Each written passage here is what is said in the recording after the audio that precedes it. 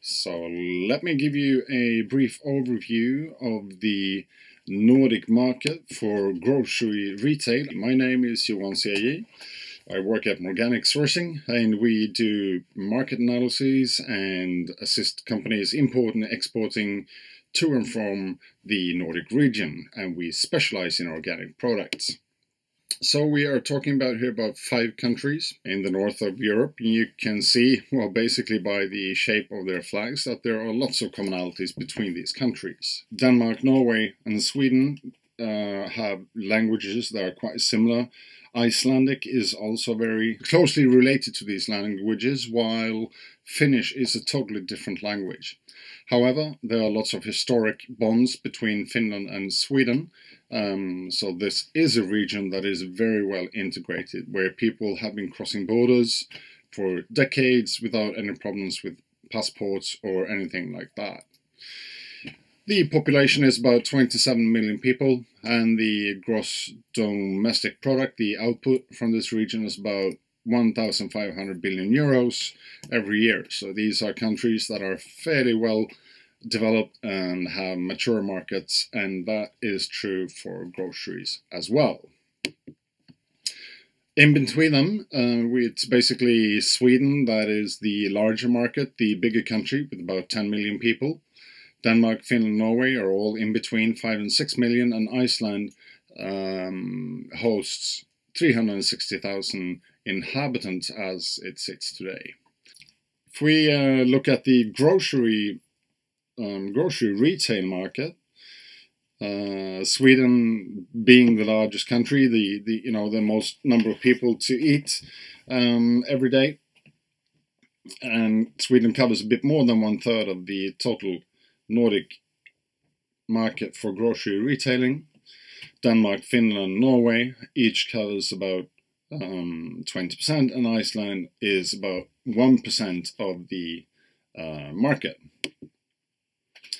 And the total value of the retail market in uh, the Nordic countries um, is uh, 80 billion euros. If we look at a single country like Sweden, um, the market does have different players, like uh, ICA being the dominator in this case, have almost half of the market. Axfood and Co-op are the runners-up, and uh, the alcohol monopoly is an interesting feature in this market, which is also uh, part of the markets in Finland, Norway, and Iceland. Um, you can see also that the market is fairly well consolidated, so that there are not too many players in a market like Sweden. And this is true if you look at the other Nordic countries as well, although the situation is a bit different from country to country. So you see in Sweden how ICA is the dominator. In Finland, there are two chains that basically rules the market. Norway have one big player and two slightly smaller, but they in turn control almost all of the market. Um, Iceland and Denmark are a bit different. Denmark is uh, the most differentiated country in the region, I would say. Now there are still some some uh, structures here to look out for if you are about to export products to this market. Co-op is present in all of the different sub-markets and they do coordinate their purchasing. The alcohol monopolies are present in four of the countries. Uh, they do not have a common purchasing, but they do collaborate to some extent on purchasing in terms of sharing contacts and uh, intelligence and uh, policy development. Put in another way, um, again, Sweden is a larger market with quite a few players. Uh, quite few players. Finland, basically only two players that that control the market. In Iceland and Denmark, um, a lot more differentiated market and not a single ruler, if you wish. Um, Norway is somewhere in between. So, Per was mentioning that he had been working at Co-op, and uh, the Co-op does well. It's the most important player at, Nordic, at the Nordic level, uh, but it's also a uh, case study of, of a the normal chain behavior when it comes to purchasing. So um, the different co-op shops would be controlled from a company or an unit organiz organization in Sweden called Co-op Purchase and Category.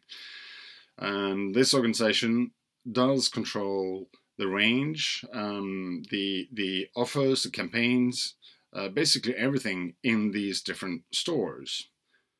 Um, they do also do the direct uh, purchasing on local, domestic, and to some extent Nordic products.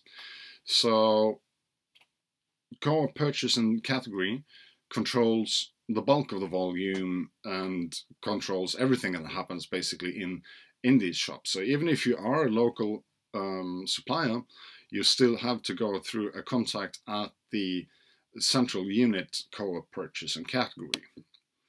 When it comes to European or global purchasing, um, the Swedish co-op works with a Nordic collaboration called the Co-op Trading based in Copenhagen, and they do the purchasing outside basically of the the uh, their own regions. So co-op trading is a inter-Nordic collaboration collaboration between the different co-ops in the different countries. If we look at the uh, a specific country and we look for these structures again, um, in Norway we have the situation Norgesgruppen is um, dominating the market and they are part of a purchasing collaboration called the United Nordic.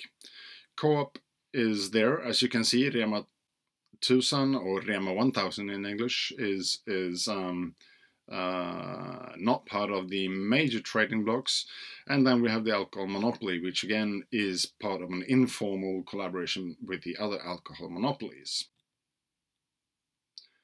So, strictly speaking, if you are looking at the big volumes in the Nordic region, there are three players that you need to uh, keep in mind.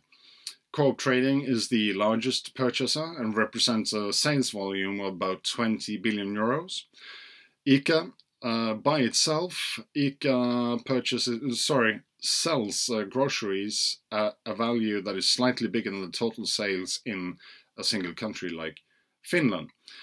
ICA also controls the Baltic chain Rimi, and their total purchasing uh, represents a sales value on the market of about 16 billion euros. United Nordic is just behind ICA and uh, Rimi with about 14 billion euros, and the United Nordic is a um, collaboration between a number of separate uh, family owned companies basically that operate in, in um, Dagrofa is uh, the Danish representative and deals with uh, a lot of these independents that we were talking about uh, earlier.